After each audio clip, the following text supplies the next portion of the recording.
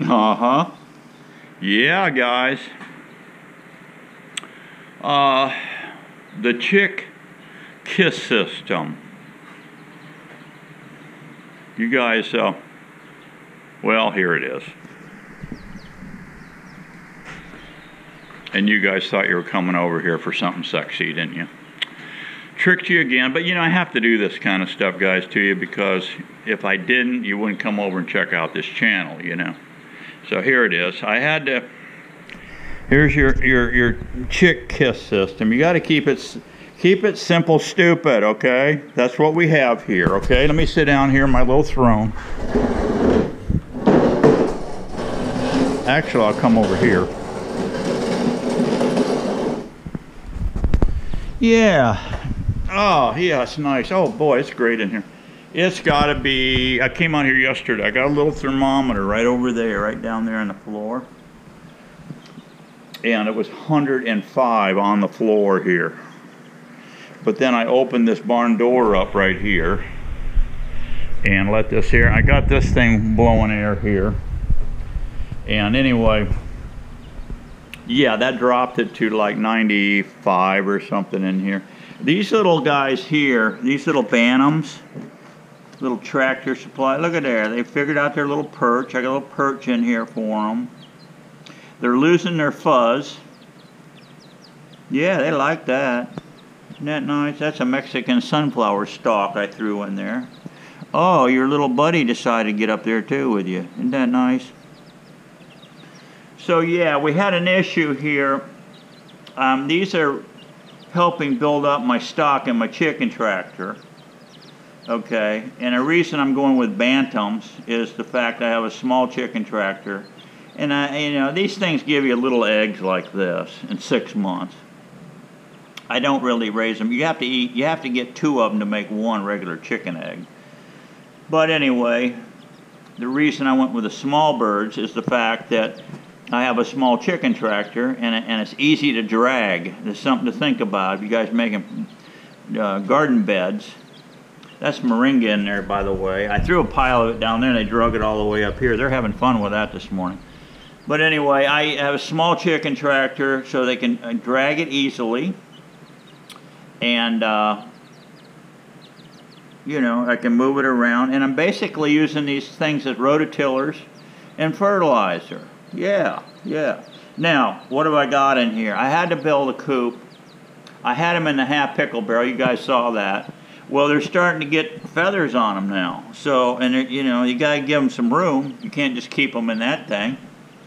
You could keep probably, if you put a perch like this at each end, you could probably put easily uh, eight, eight, eight of these in here and you could breed them and, and let them grow all the way up to almost adults.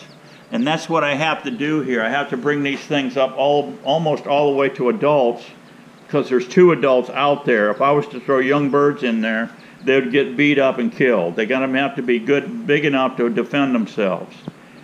So that's the reason for this cage. Now I'll leave them in here in this barn until they get right up to almost full size and to where they can jump up. I don't have a ramp. I don't know if you noticed my chicken box out there, my tractor. I don't have a ramp for them to go up.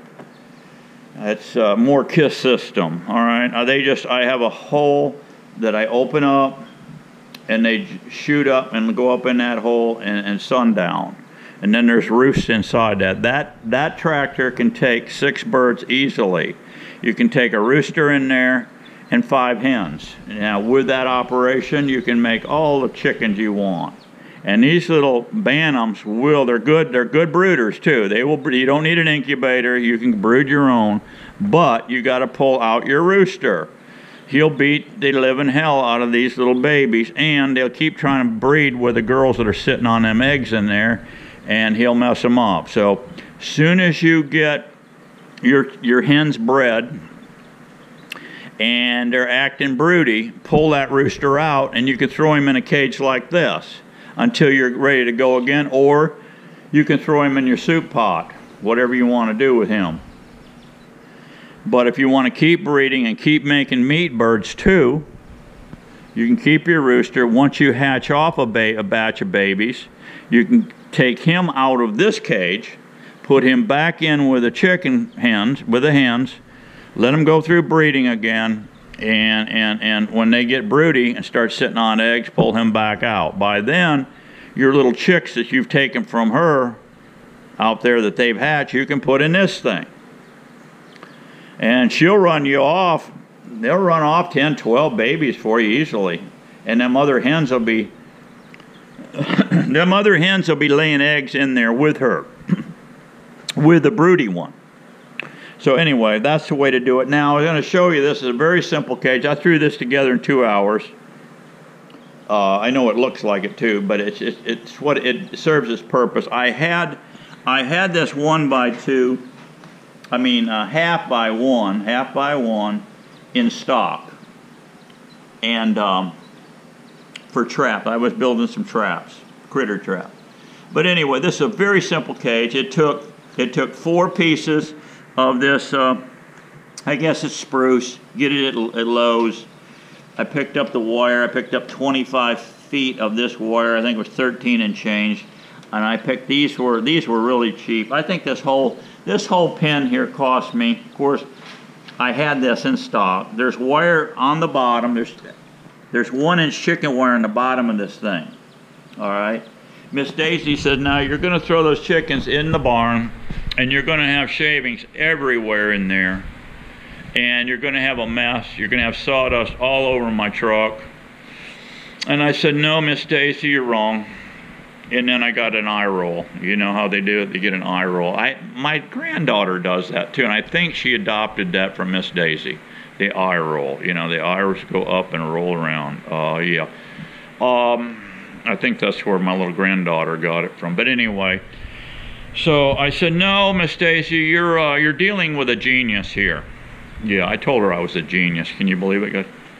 And she said, well, how are you going to prevent that? I said, I have my ways. So here's my ways. And I haven't, she just saw this today. This thing's been in here. This thing's been in here for a week. And she had to go down and to, to a shopping center or something this morning. So she got to look at this for the first time. But anyway, here's my trick.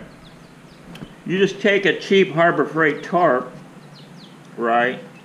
and you put on the bottom. Keep it extra, keep 10, 12 inches extra all the way around. Just trim it off, okay? I have, I didn't even have to cut this. I had a this for another project. It was over on my shelf.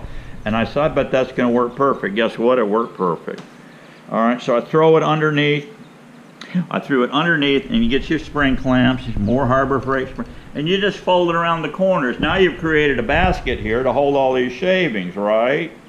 Okay, so you can change these shavings out probably once a week. All right.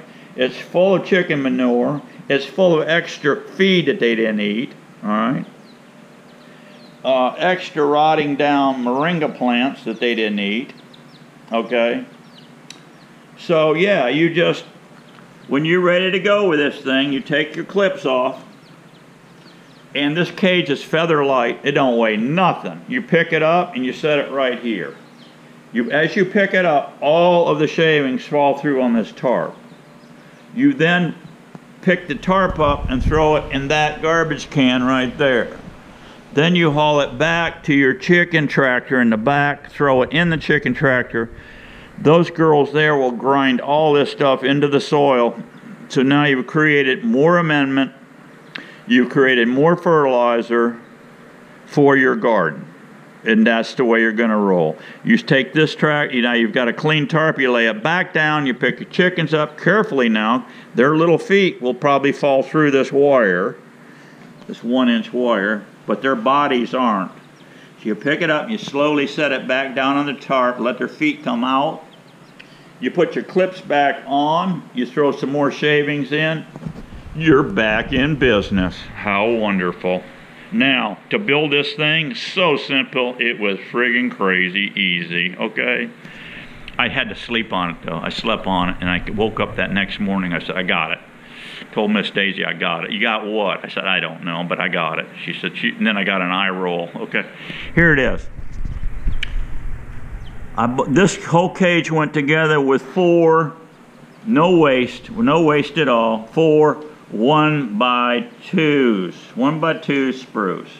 All right. I cut, I cut four of them, four of them here. Actually more than that. I cut four, five, six, seven, eight, and it all worked out. Eight two foot long ones. Set my garbage cans up, grabbed a skill saw, burned them off, all the cuts. Took the eight foot length, cut them in half. That gave me this one and the one down below. I laid this piece and the end piece on the slab, grabbed my four footers, laid on top as you can see, shot them in with my $15 Harbor Freight T-nailer, brad nailer, I'm sorry, brad nailer, one and a quarter inch long, one and a quarter inch out of this brad nailer, $15 on sale, Harbor Freight. I have run a ton of stuff through this thing, guys. Make sure you oil it each time, air oil. The other tool I used to put this thing together was a Bostitch uh, T50 with half inch staples. These are all half inch staples, okay? So once I shot these in, both side panels, this one and this one, I just stood them up. I sat right here in my chair, stood them up, grabbed my two footer, bam, bam, bam, bam, shot them in on all four, on all four sides, flipped it upside down. I did the same thing on the bottom ones. Done. Your cage is built. So simple, it was crazy. Took my 25 foot length of chicken wire, started on one end and wrapped it all the way around this puppy. Stapling it as you see here, all the way around it. I had, like I say, this in stock. You could have used, I still have enough of this to actually, actually, there it is right over there in that box. That's what I had left, and that would have been enough to do this top. I don't think it would have been enough to do the bottom, but whatever. I had this, and then I just flipped it upside down and shot the on the bottom. That's it. Now here, I have, I have the cage clips here I put four of them in. I needed an access door. I left this a little wild on the end. This is the action here, see? Very simple hinge, easy to get at. You don't need to be crawling around in here. Now, if you had more birds, say if you had, I would have no problem whatsoever putting eight to 10 of these bantams in here. Now, if you had large chickens, I would not put more than maybe three in this thing, okay?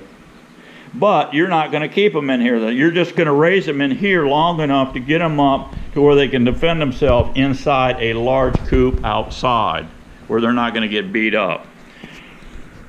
So you can do the tractor like I do outside, bottomless. This has wire in it, like I said. The chicks will stay in. I'll lift this up. I'll set it over here. All the stuff will fall in there. I can grab my tarp, throw it in the bucket haul it out, dump it, reload it, done deal. It's so easy, it's the KISS system. So I just thought I'd run this by you guys and show you what I built. It's so easy to do. Uh, these birds will stay in here right, right up to almost full grown. Then I will take them out to introduce them to the ch chicken tractor so they know how to get in and out of the hole, get flying in and out. I'll wait for the sun to go down I'll wait for the sun to go down, and then I'll take these chickens. While those other chickens are roosting and it's dark, I will take these full grown birds and stick them in that box. At daybreak, when I go and open the hatch up, they're going to watch, watch the big chickens come out of there and jump out of the hole. They're not going to fight at night. They don't do much of anything at night but roost. So that way they'll be introduced, introducing themselves to each other the next morning when I open that box up and they'll see how to get in and out of that chicken tractor. It's a monkey see, see monkey do thing, okay? So that's just a quickie on your kiss, your chick kiss. Be happy, guys. Be strong, because we got to, you know it. You know it. We got to keep getting her on. See ya.